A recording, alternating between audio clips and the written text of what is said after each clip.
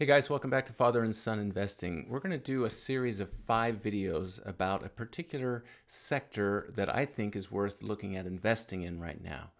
We're going to talk about a subset of healthcare, it's biotechnology. The first video today is just going to talk about what is biotechnology, how does it differ from pharmaceutical companies. We're going to talk about why now might be a good time to be buying into biotechnology. And then I'm just going to introduce the three ETFs that I'm going to talk about in the next three videos. Lastly, the last, uh, the fifth video in the series, we'll just talk about which one I think might be the best one to invest in. Right now, we'll compare all three. So we're going to go ahead and get started. All right, let's dive right in. First of all, we need to talk about what is biotechnology. This slide explains it pretty well. So it's a combination of biology and technology. And when we combine those two, what we end up is using living systems and organisms to develop or make useful products, or any technological application that uses biologic systems, living organisms, or derivatives thereof to make or modify products or processes for a specific use. What is it that we're talking about here? Well, these are some examples of biotechnology in play. So you can see here just a nice list of 10 of them. I'll let you just look over those on your own. And these are some applications of those science technologies, things like bioengineered crops that are disease resistant or drought resistant. We're talking about biofertilizers and gene cloning and human gene therapy being able to replace a non-working gene with a working gene. That is astounding. We're talking about DNA fingerprinting, little DNA pieces as markers used to identify people. The limitations on the use of biotechnology are really probably only limited by the human imagination. All right, the second question How does this differ from pharma or pharmaceutical companies? Well, the differences are actually significant. Biotech companies, of course, by definition, are using the processes of a living organism to do their work. Uh, they might be making things such as alcohol, plastic, washing detergents, cosmetics. Those are all made by biotechnology, but really the big one that when you're investing in this uh, subcategory is going to be healthcare types of biotechnology. Some well-known companies that are here, Celgene, Amgen, Gilead Sciences, Biogen. When we get to pharma, really we're talking about companies that are using uh, artificial sources to create new medicines. So really we're getting into a lot of chemistry here when we're just dealing with pharma. Of course, there are some companies that are biopharma, and really they're starting to kind of commingle with big pharma companies utilizing the services of biotechnology companies, either by acquiring them or by making agreements with them. The major big players in pharma, of course, we're talking about things like Johnson & Johnson, Novartis, Roche, Bayer, Pfizer. All right, now that we've talked about what biotechnology is and we've given you a difference between biotech and pharma, I want to talk about why now is a good time to be investing in biotechnology.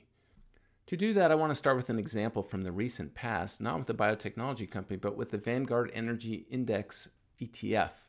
So uh, I have been buying Vanguard's Energy ETF over the last few years, and quite honestly, I bought much of it back here when it was in the $100 range. Uh, but I really also started buying some here when it started declining. Uh, really, the best time to buy this then would have been when it got to around $30 way back in March of 2020. Now, a lot of people were in the process of selling it then, obviously. That's why the price declined so much. So, why would then why would that have been the good time to buy it? Well, obviously, we want to buy low and sell high. So, buying at $30 a share or $37 a share certainly beats buying it at $79 a share, which I bought some of it then, but it certainly beats even better buying it at $105 a share, which I also had bought some of it then. So anyone who bought back here and, and now has it here obviously really hasn't made any money. What they've made out of it is dividends. But the people who have really made money are the ones who were willing to buy it when it was at its worst. So this is a chart that shows just how much biotechnology has come down from its highs. Now, we're going to look at three of these in terms of ETFs. We're going to look at the iShares Biotechnology ETF. We're going to look at the SPDR Biotech ETF, and we're going to look at the ARK Genomic Revolution ETF. So just following the colors here, the purple, we'll see that the purple is down 28%. we're going to look at this sort of orangish color and it's down, or peach color maybe, it's down almost 50%. And if we look at the ARKG, it's down almost 60%. So when is the time to buy these things? When they're down.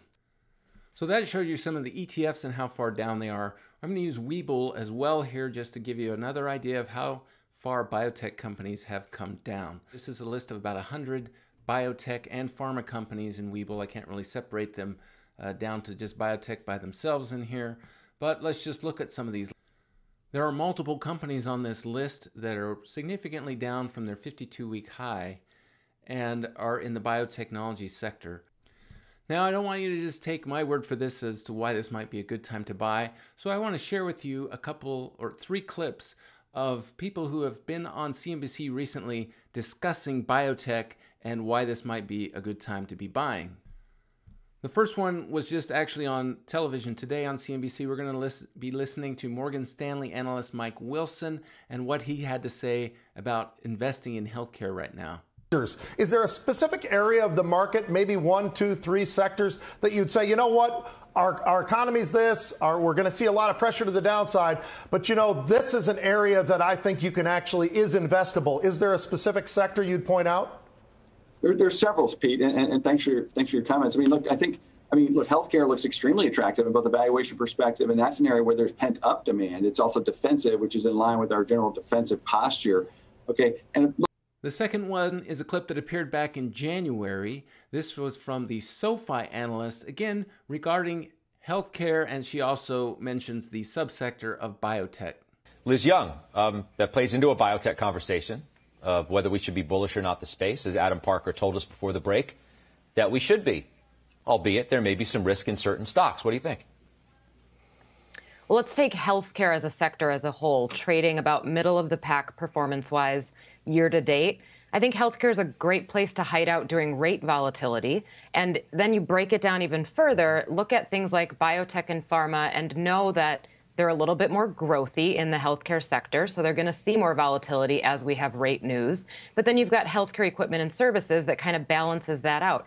I think healthcare is a great place to be here, and I think it's a great place to be for the long term. I used it as my final trade last time I was on.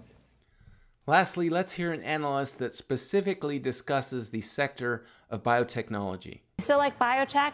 Because that sector is still taking a, a drubbing. yeah, I like biotech a lot. We always pair things to try to beat the market. So if we're overweight biotech, we're going to be underweight, say, like profitless software.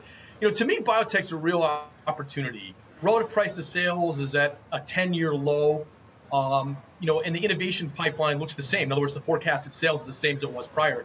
One of the things that's really interesting, Melissa, is people feel like when interest rates rise, all these businesses that have a lot of value far out in the future will, will do poorly. But did you know that only 15% of biotech companies ever generate positive cumulative free cash flow? And the ones that do, it's five years from now, five years to do it on average. So the whole terminal value argument will be on the next interest rate cycle by the time that matters for most of them. So our judgment is probably pretty good risk reward there. Sure, if we get dovish sentiment relative to today, they're all going to go up, profitless software and biotech. But I think the innovation's pretty cheap for biotech, and I like that idea. Now, there is risk involved with these companies. One thing you need to know about biotechnology companies that they're small generally, and oftentimes they only have one or two drugs in a pipeline, or at least one or two that might make it might make it to FDA approval at any given time. Now, if they don't get those approvals, then uh, they stand a good chance of the company failing. So it's important to know if you're picking these individually that uh, there can be significant risk. So when I get to the last question, what to buy, well, I'm going to be talking about three ETFs, and they're the ETFs that I showed you earlier. We're going to be talking about ARKG, ARKG. We're going to be talking about IBB, that's the iShares Biotechnology, and we're going to be talking about the SPDR Biotechnology ETF. So those will be the next three videos that I produce for this segment. I hope this information was useful for you. If it was, give us a thumbs up. Please subscribe to us. And as always, enjoy your investing.